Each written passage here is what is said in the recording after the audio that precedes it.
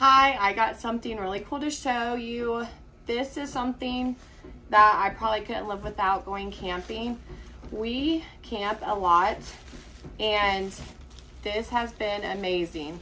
It's a collapsible bucket, which I love because when you're camping, you don't want to pack too much, um, especially if you're going backpacking.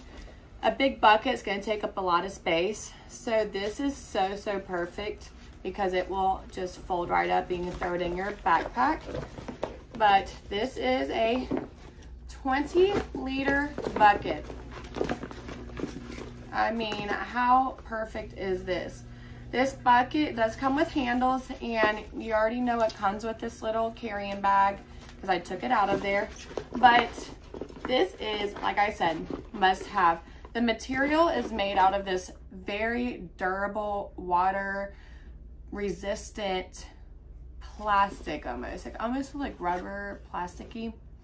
But I love the fact that you can fold it up after you're done using it. Um, when you fill it up with water, it does hold its shape and you won't have to worry about it tipping over or anything. The water really helps keep it standing up.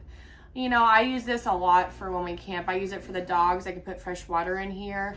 Um, also, I can use it just to wash my face and my hands, just to have a nice bucket area, just to splash all over me some clean water. Because when you bring in a jug, it's kind of hard to use because you have to pour it out into a bowl or something.